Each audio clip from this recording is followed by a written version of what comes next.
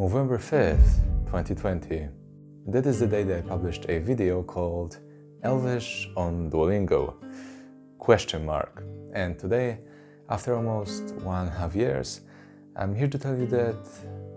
Wait, what exactly am I here to tell you? Firstly, unfortunately, I don't think that Duolingo has seen the video or heard any of our prayers, but it also may be the case of just not making a public statement. To recap briefly, my conclusion last time was that, yeah, it would be very difficult to create a certified, fully correct and extensive Elvish course on any language learning app. And keep in mind that we're talking about uh, Mr. Tolkien's Quenya or Sindarin, um, but Quenya seemed more probable at the time and still does, in my opinion. But okay, let's not beat around the bush anymore.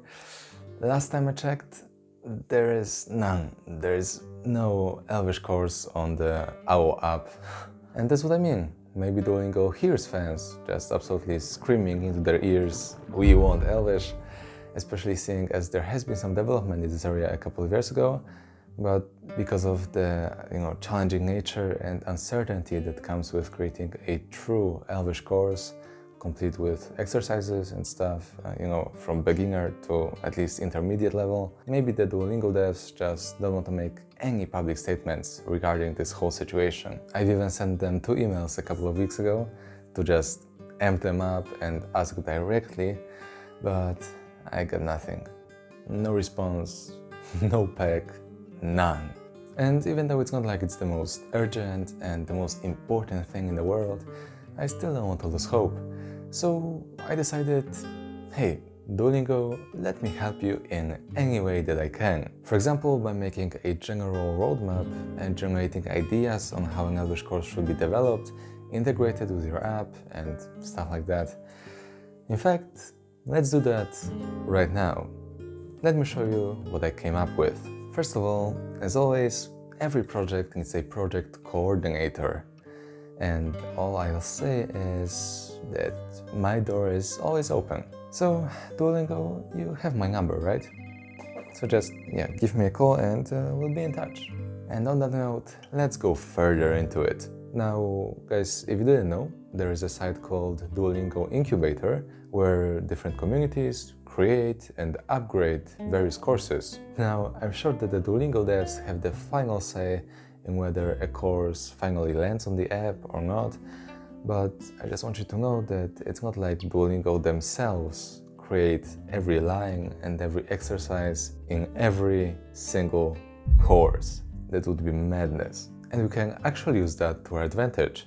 It means that we don't have to wait for Duolingo to make the first move. So I did some research and I'd like to introduce you to some people who could help in creating a Sindarin or Quenya course if they wish to do so, of course. I'd like to just introduce you to some people who I consider experts in a particular field. So, let's do it. First, this is Helge Kåre Fauskanger, a Norwegian linguist behind the site Ardalambion. It's one of my favorite Tolkien sites out there, and objectively speaking, a great bank of knowledge. If you've never been there, just open it right now. It's definitely worth it. Now, his formal education is more about Nordic languages, but he's been writing about Tolkien tongues for over two decades now. Again, I'm not saying that he's on board or anything, but if you are looking for an expert on Elven tongues, this is it. It can't get much better. Next up, I think that constructed languages, more than anything, need huge community engagement. So you would need someone with quite a big reach so let me introduce you to jan Misali, the author of the series Conlang Critic on YouTube. I really like the idea and the series, and it's pretty big, so maybe, just maybe, we'll meet someone like jan Misali with experience, you know, managing bigger communities. Maybe they'll be down. Now, one of the most underrated sites out there is Parf Edhellen. It's the biggest online Elvish dictionary, but actually a more accurate description would have been just a site that helps people learn Tolkien's conlangs. And I love it. I love the design, I love how extensive it is, and although it's mostly community driven, I recently learned that it has a manager of sorts whose name is Leonard. Definitely check this site out if you haven't already. But again, Duolingo, the community is out there. You just have to open the doors.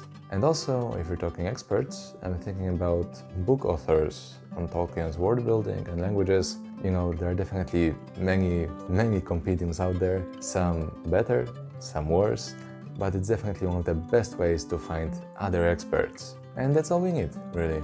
Some experts, a lot of community members, and a couple of managers working on this project. And with all this, I don't think it sounds too impossible, does it?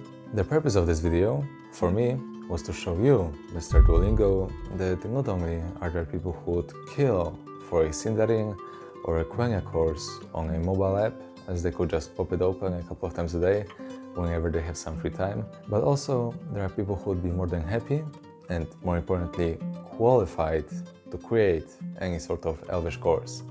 Of course, with your help. So, what do you say?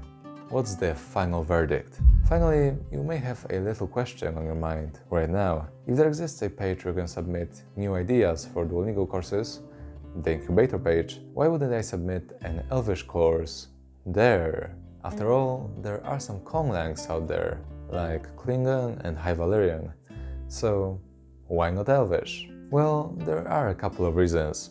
First of all, in order to submit one, you have to be fluent in the language. And while some people say that you can be fluent in Klingon, Elvish is a little bit of a different story. You can definitely learn a lot, but I wouldn't say you can be fluent per se. And more importantly, I definitely am not.